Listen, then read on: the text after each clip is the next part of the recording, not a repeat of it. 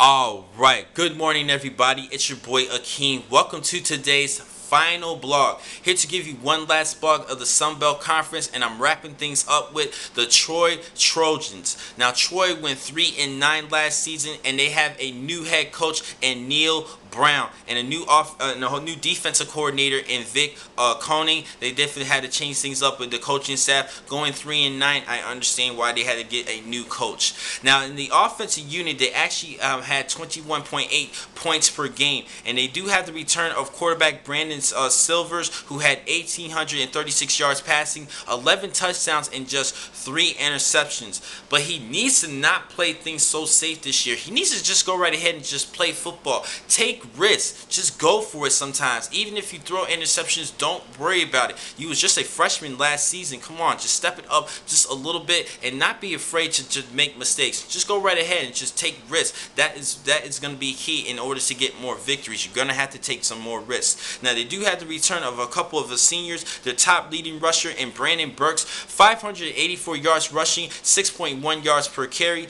and they do have the return of the, one of their top receivers in Brian Holmes, who had just just 474 yards receiving and five touchdowns. He was an honorable mention at the end of last season.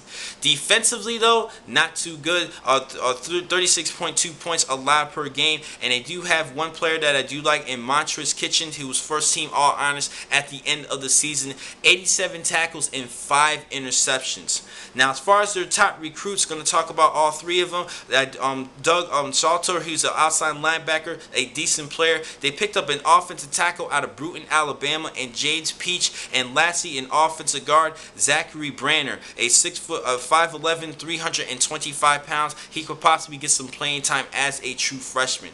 Now this year, I think they're gonna get at least one more win. I'm gonna go with a four and eight overall record this season for the Trojans. And once again, my champion this year of the Sun Belt Conference is last year's champion and um, the um, Georgia Southern Eagles. Now, next time to catch you guys will be on Saturday Saturday, where I will give you the previews of the Sun of the Mountain West Conference. Um, I was. Uh, I'll give you guys a preview of the Mountain West Conference. So I'll see you guys then. Thank you for watching today's blogs. I'm your man, Akin McCall. Be easy.